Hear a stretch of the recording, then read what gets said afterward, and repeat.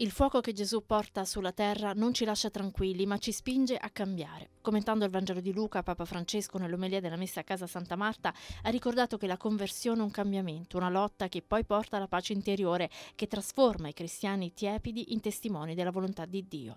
Fondamentale lasciare spazio nel nostro cuore, ha evidenziato il Papa, allo Spirito Santo attraverso l'esame di coscienza, combattendo le malattie della mondanità. Le difficoltà della nostra vita, aggiunto, non si risolvono annacquando la verità, ma con un cuore generoso perché aperto all'amore e fedele alla parola di Dio. Cambiare il modo di pensare, cambiare il modo di sentire. Il tuo cuore che era mondano, pagano, diventa adesso cristiano con la forza di Cristo. Cambiare, questa è la conversione. E cambiare nel modo di agire. Le tue opere devono cambiare.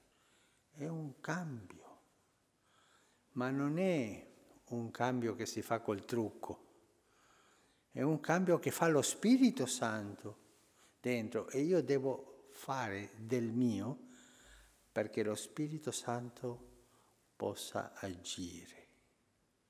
E questo significa lotta, lottare.